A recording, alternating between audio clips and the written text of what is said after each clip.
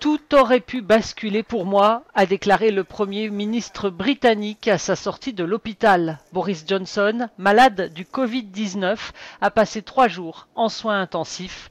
Il est sorti d'affaires.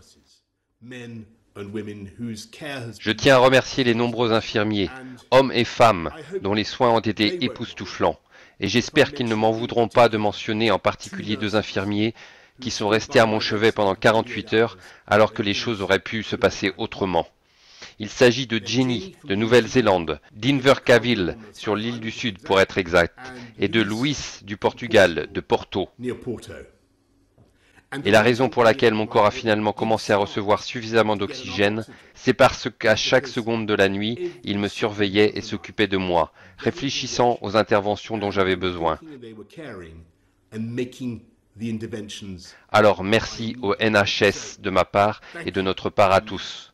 N'oublions pas de suivre les règles de distanciation sociale, de rester à la maison, de protéger notre NHS et de sauver des vies.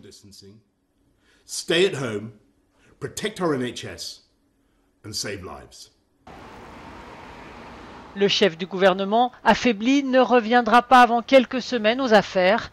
Il se reposera ici dans la résidence secondaire des premiers ministres britanniques.